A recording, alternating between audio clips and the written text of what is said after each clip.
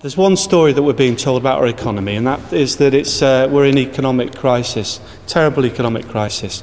So quite fitting that uh, we should put that version of our economy um, on trial in the civil court in St George's Hall. So I call this a single narrative. Why? Because it's one version of our economy, and there are a lot of um,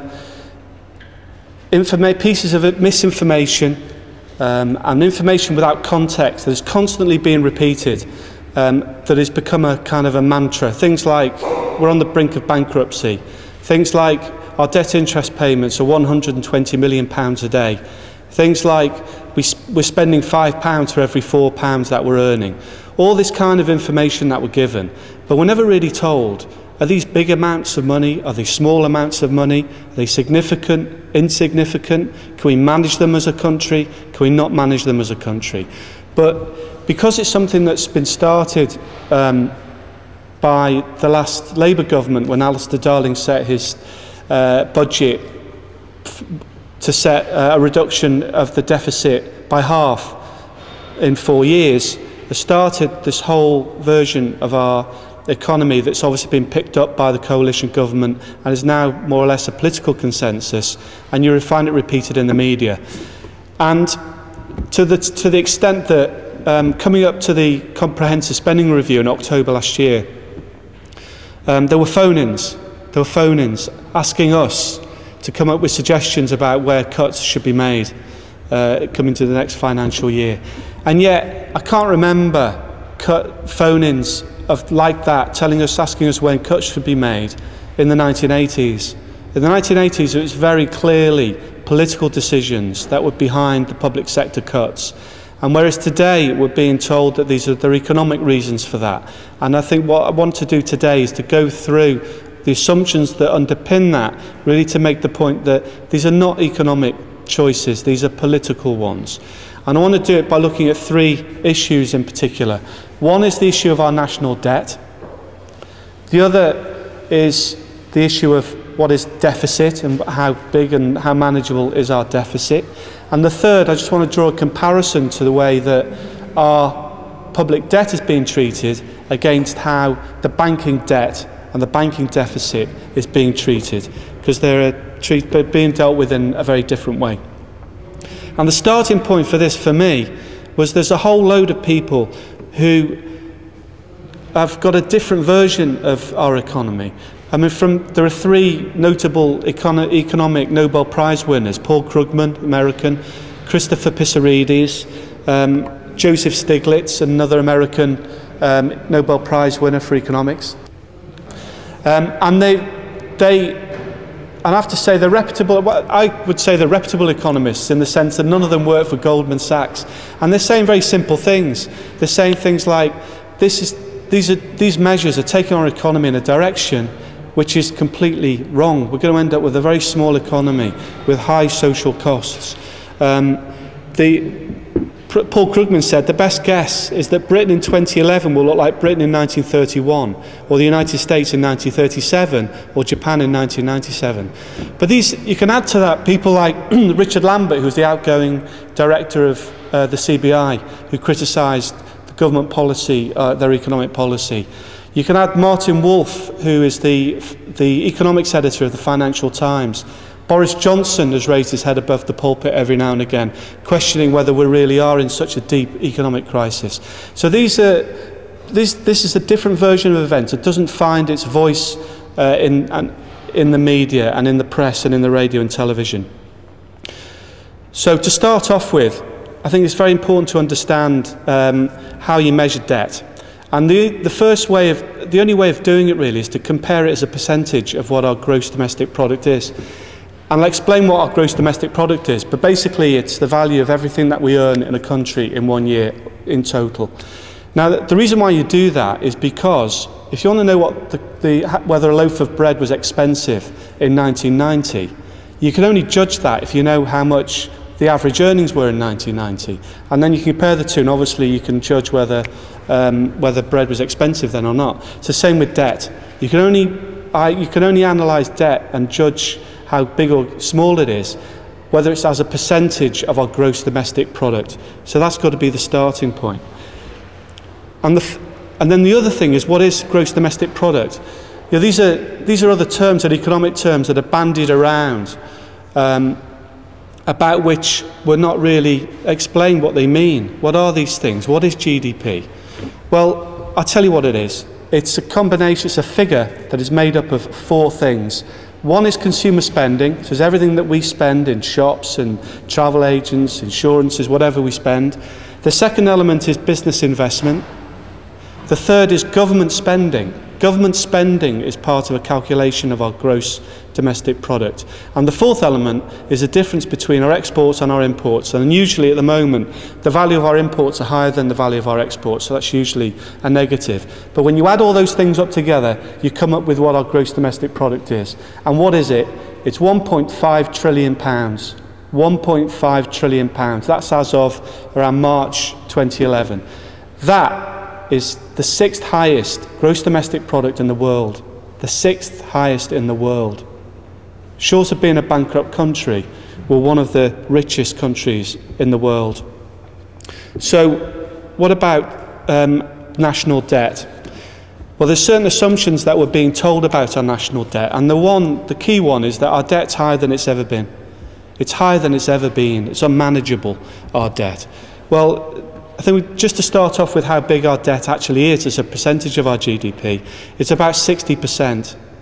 It's about 60%, and that works out at around 930 billion pounds. 1.5 trillion pounds is what we earn as a country every year. That's around 60%.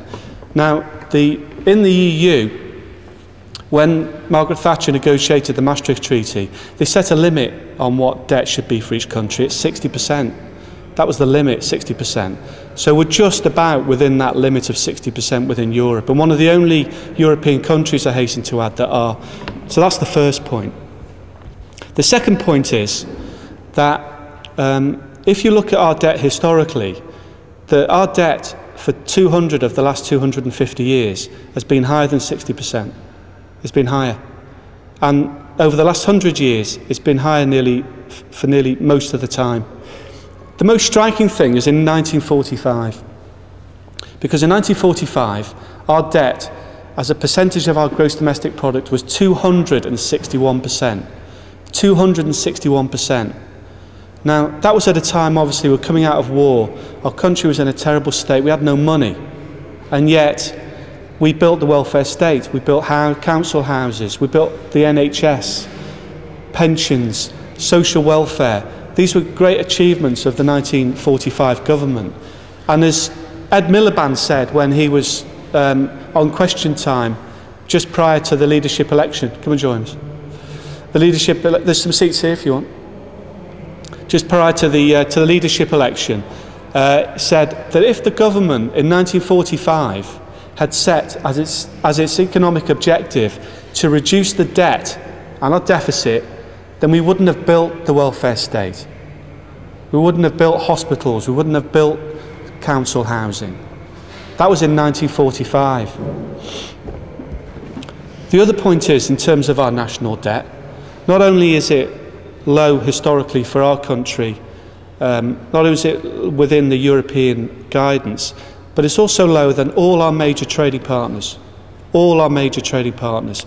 America's debt is 95%, Portugal's is, is high at 87%, Spain is 70%, Japan is 200%, Italy's 119%, Germany, with a higher growth rate than us at the moment, 1.5% a quarter, which will give us 6% a year, is 72%. So all our trading partners are higher, their debt is higher than ours. And the most interesting one is Canada, because Canada is the model that the government used in terms of their austerity measures because Canada did the same thing in the end of the 1990s. They felt that there should be a balance between public and the private sector, which, to be honest, has no economic rationale behind it. There's no economic argument which says public sector should be 40%, ours is around 41, 42%, and private sector should be the balance of our economy. There's no economic rationale for that, and yet the government is telling us that it is, and Canada did too. And yet, Canada have gone through this process in the end of the 1990s. Their debt is 81%. 81% of their GDP. So that's national debt. So what about deficit? well, primarily we're being told that the deficit that we've got now is being caused by overspending from the previous government. Uh, but before going to that, I think we have to understand what, what is a deficit. You know, what is it? Um, and it's been described as a structural deficit. It's not just described as a deficit, it's described as a structural deficit. And to be honest, it's hard to understand what, the structure, what they mean by structural deficit. Because at the end of the day, simple.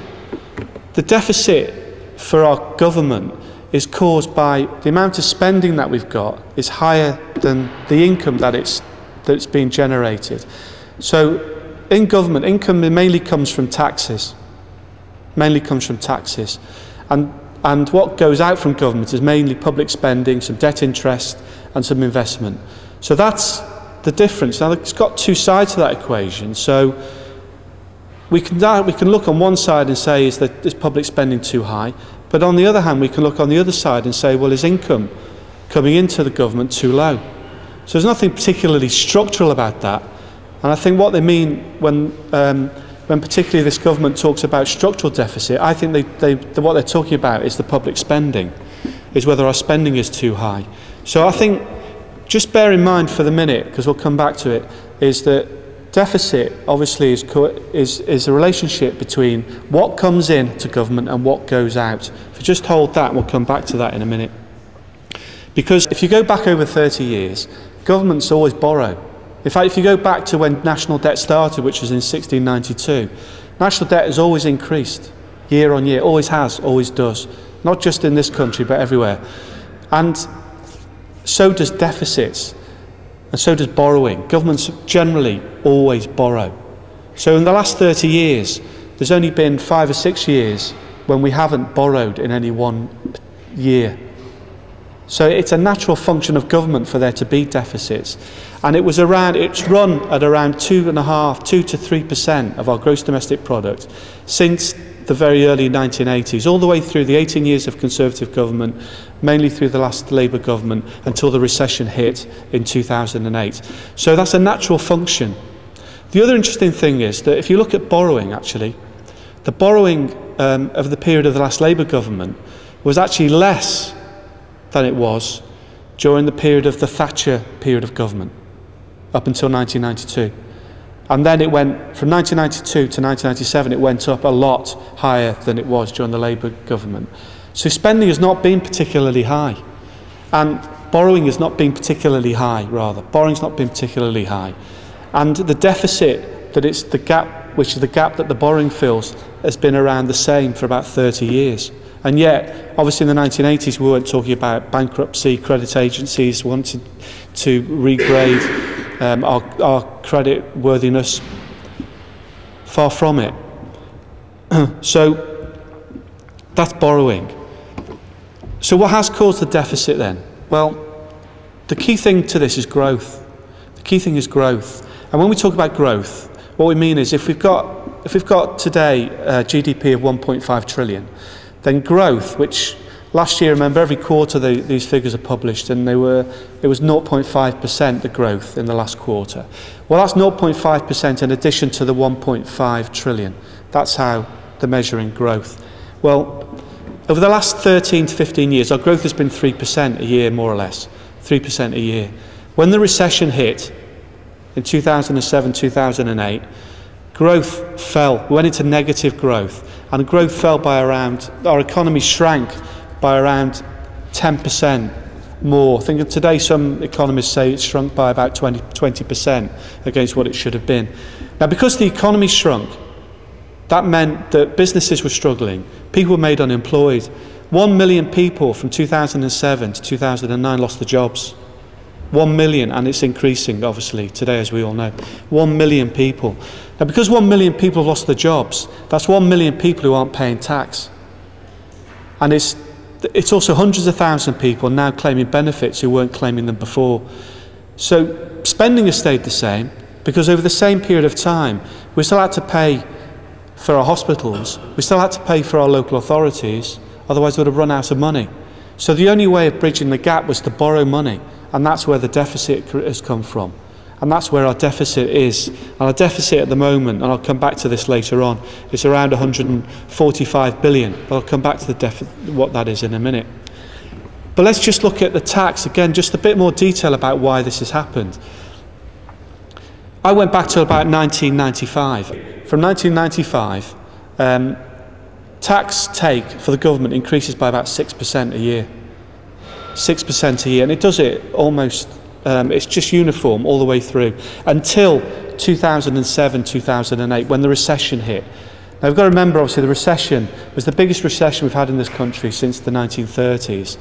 And as a result of that, with all the people made unemployed and people not paying tax, it's had a huge impact on our tax take. So if you look at where we are today in our tax take against where we would have been had the economy continued to perform as it was and tax take had continued to come in 6% in addition every year, then we, what the difference is is 100 billion pounds. It's 100 billion pounds. When you know that our deficit at the moment is around 145 billion, 100 billion of that is the, the gap we've got in, in tax take because of the effects of the recession, which is a temporary phenomenon. In effect, our tax take is running two, lagging two years behind our spending at the moment. So, we've cut, so the argument is how that gap is bridged. But that is a tax gap. It's got nothing to do with overspending. It's to do with, with, with not enough tax being taken as a result of the recession. And what's interesting is, just keeping on this argument about growth, the last government introduced the fiscal stimulus, which is basically just pumping money uh, through the public sector to, to keep people in work and to try and stimulate the economy because the private sector couldn't do it. So what that, what that meant was our economy grew by 1.5%. In one quarter it grew by about 1.1, 1.2%. Now that's big in terms of growth because if you take an average growth for us as 2 to 3%, 1.1% in one quarter, if it was repeated through the year, would be well over 4%. We had 1.5% growth. And what that meant was that our deficit was forecast to come in at 167 billion pounds. 167 billion pounds. But as a result of that, that growth, it came in at 145 billion. So our growth forecast reduced by 22 billion pounds. So when this government came in in May, the, the actual deficit was actually 30 billion pounds lower than it was forecast to be.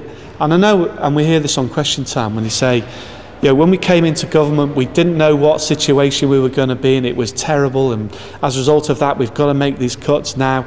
But actually, when they did come in, it was 30 billion pound. The, the deficit was 30 billion pound less than it was forecast to be 12 months earlier. And yet, and yet, despite that, the government brought in £6 billion worth of cuts in the last financial year.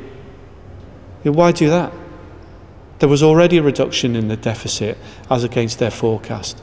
So that wasn't an economic decision, that tells me. That tells me that was a political decision in terms of a start starting reduction of, of the public sector. The other economic argument is that our interest payments are high. We all, watch, we, we all watch Question Time, I suppose, do we? We all hear sort of political commentators on the radio, and I hear them constantly saying, you know, whatever the argument is, whether they're talking about defence or children's playgrounds or sport, you know, the government or a representative will say, yeah, but we've got to spend 120 million pounds every day to service our debt. Well, is that very high or not? Well, if you look at the figures, at the moment, 120 million pounds a day um, works out at 43 billion pounds a year. That's what the debt repayments are this year. Before we came into the recession, they were about 25 billion, 25 to 30 billion anyway, and they have been for years. They have been for 30 years or more, the same level. But if you go back to the 1980s, the uh, debt interest payments were over 5% not under 3%. If you go back to 1981, the Thatcher government paid the equivalent of 174 million pounds a day. 174 million pounds a day. And again, was there any talk of our country being on the brink of bankruptcy? No, it wasn't. Was it, were we being told it was unmanageable? No, it wasn't. And the government was borrowing at that time, and it wasn't borrowing to make public investment, as I'm sure we can remember very well. At least over the last period of the last government, there was public investment taking place. So 120 million pounds a day is cheap borrowing. That's what it's telling us. It's cheap borrowing. And not only is it cheap, but it's over a long period of time. Spain, Portugal, Greece, their borrowing, which is mainly by issuing government bonds like premium bonds and other bonds, have got to be paid back within two years. So you, somebody gives you £100, and for £100 you say, OK, I'll give you £6 a year until I have to pay you your £100 back. That's how bonds work. Now, in places like Greece, Portugal, Spain, Ireland, those bonds issues are over two years. Well, for us, and it's a measure of how robust our economy is, they're over 15 years. Our borrowing is long term and it's mainly within the UK. We don't owe money to international banks, not like the United States. Our money is being lent and being through bonds to UK institutions over 13 to 15 years. So that raises the question why reduce the deficit over four years? Where, where does that come from? Yeah, why four years? Yeah, when we borrowed money in 1945 from the United States to rebuild our country, we borrowed that money over 60 years. That, that money was repaid, what we borrowed from America was repaid on December the 31st, 2006. That was repaid over a 60 year period. We're now in a position where we're borrowing money over 13 to 15 years. So where does four years come from? It's not an economic cycle. That's not an economic cycle. That's a political one. It's a parliamentary cycle. In four years, there's going to be another election. And again, it just suggest these things are not economic choices, these are very much political ones. So, so then we're told we have to make the cuts. Because we've got a deficit, we've got to make the cuts. Well, one of the reasons, let's have a look at, well, do we? Because what's the other side of this argument? The other side of this argument, as an example, is tax. Well, as a country, we're one of the lowest taxing countries in the EU. As an average, uh, we tax about, our tax rate as a proportion of our GDP, again, uh, is 37%. And in Europe, it's a, uh, the average is over 40%. So in the UK, it's around 37%, and in Europe, it's over 40%. The other thing is, which is worth noting, is that there's been a change in the way we tax. But I don't know whether you know the high rate of tax in 1975 83%. 83%. The basic rate of tax in 1975 was 33%.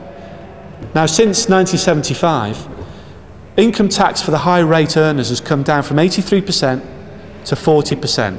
It's gone up to 50% in this financial year since April this year, and we're being told that's only for temporary, it's only going to be temporary.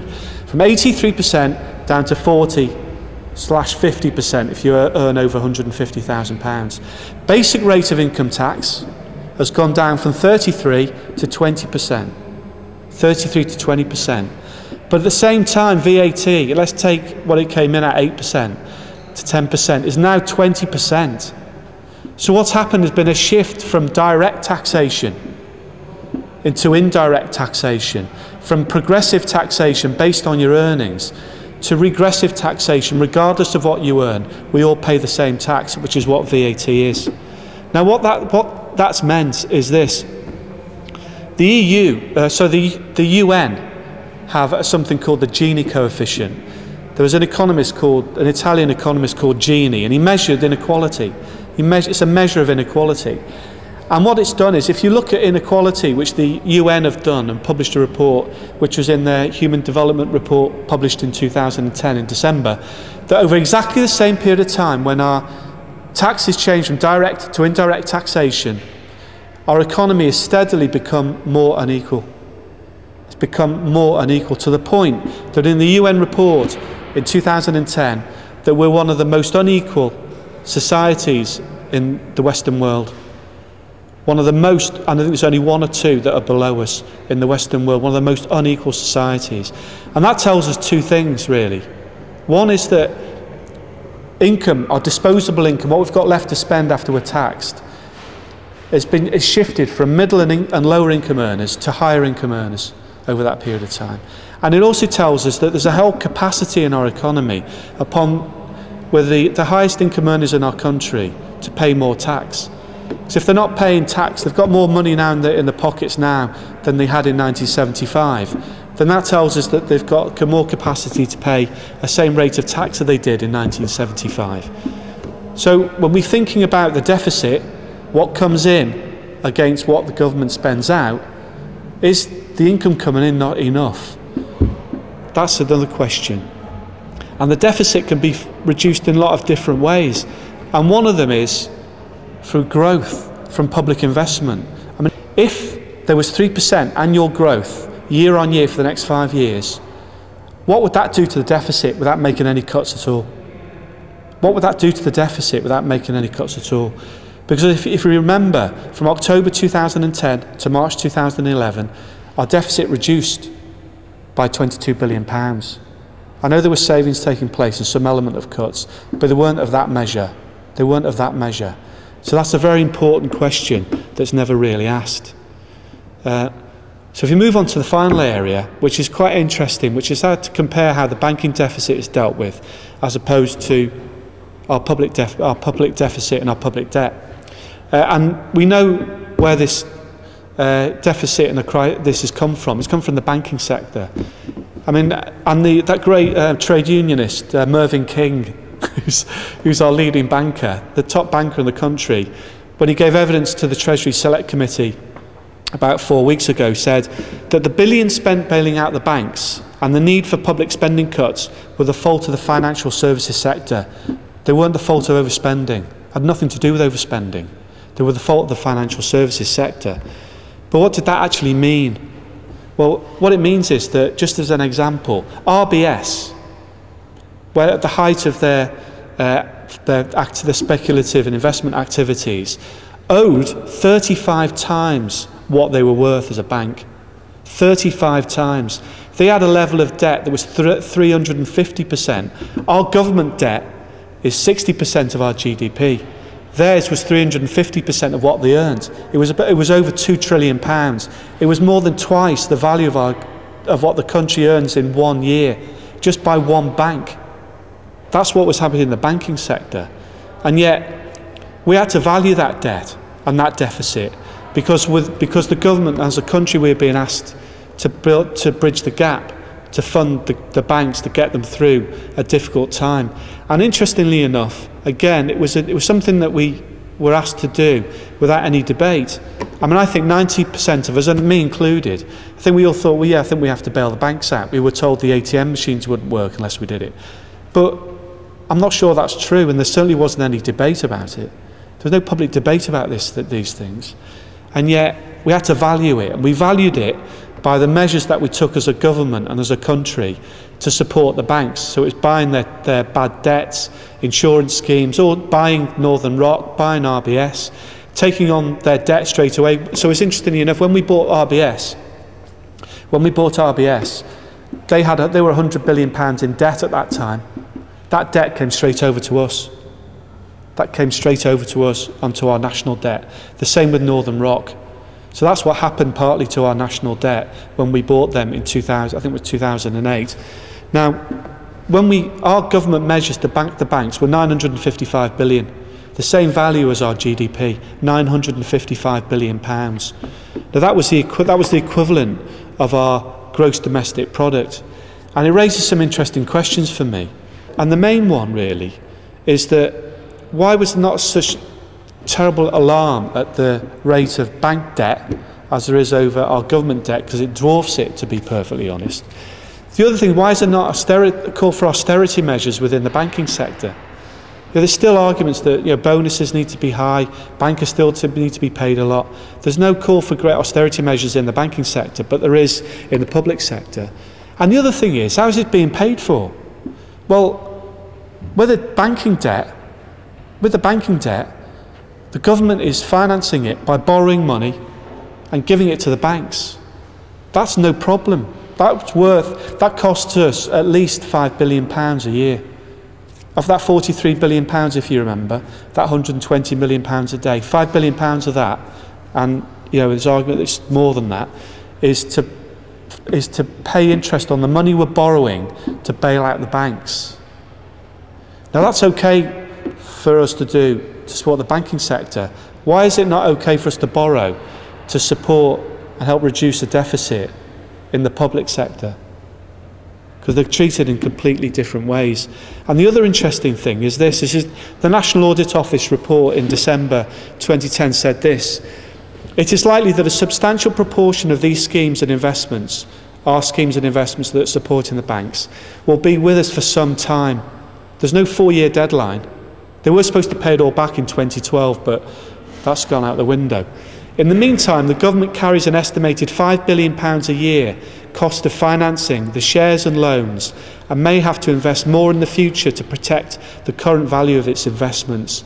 What it means is that currently we're exposed to £5 billion every year at the moment, and we don't know how long that will go on for, but it's okay for us to do it. It may increase, and the head of the European Central Bank, the head of the IMF, the New Economics Foundation, and others are saying this that this year, because the banks haven't changed the way they operate, there's going to be another bank bailout needed this year. And the National Audit Office are suggesting a similar thing. But it is interesting to draw the parallel, isn't it? Because the banking sector is being treated in a very different way to the public sector. We've been told we have to pay it off in four years, our deficit. So that brings us really to the idea, do we need to make cuts? Well, debt, if you base it on debt, well, it's low compared to uh, our history and our partner nations. If you look at growth, it plays a key role in reducing deficit. Uh, you know, why, why can't we be stimulating the economy and see what that does without making any cuts? If tax is lagging behind spending, why can't we borrow short term to, lag, to fill this gap until it closes, as it will do organically, as it can do organically? without making public spending cuts. And there's also that, the whole issue of income tax and the capacity to pay more uh, and that we're a low taxing country. So is there a crisis economically in the country? Is there a crisis of national debt? No, there isn't. Not compared to the past, there's not. Is there a deficit crisis? Well, again, it depends on your values. A deficit at the end of the day is whether you can afford to manage it, and we can. We're borrowing less than we did uh, in the 18 years of Conservative government. Is there a crisis of economic governance? There is. It's a whole different debate because of the way the banks have been out to operate virtually unregulated. Is there a crisis of unemployment of employment? Yes, there is. There's, there's an employment deficit. There's a huge employment deficit with terrible social costs, let alone economic costs. People in work who are not in work aren't paying tax. People are claiming benefits. Is there a banking crisis? Well, we know there's a banking crisis, and again, it looks like there's going to be a bailout this year. Is there a democratic crisis? Well, I think there is, because without a proper discussion around what's happening to our country and what's happening in terms of changes to our public services, without proper informed debate, I think there's a democratic crisis because we're not debating these issues because of the information and misinformation we're given about our economy. And I just want to leave you with this quote. The gross national product, which is the same as our gross domestic product, does not allow for the health of our children, the quality of their education, or the joy of their play. It doesn't include the beauty of our poetry, or the strength of our marriages, the intelligence of our public debate, or the integrity of our public officials. That was something that Robert Kennedy said six weeks before he was assassinated during the presidential campaign in America in 1968. And what I think he meant by that was this that what we need to decide is what public service do we want? What public sector do we want? You know, do we want educational maintenance allowance? Do we want a comprehensive health service free at the point of use? Do we want social housing for people who can't afford high rents, who can't afford to buy their own properties? Do we want decent pensions? Do we want winter fuel allowance? These are the questions that we need to ask ourselves. And when we've got the answer to that, we fix our economy to deliver it. That's what an economy is for. That's what it does. It's a tool to, to, to deliver the things that we want as a country. We don't have to be in a position where you look at what's left over at the end of the account at the end of a particular year and decide what public sector you want. It doesn't work that way. In 1945, we didn't make that decision, and we don't need to make that decision in 2011.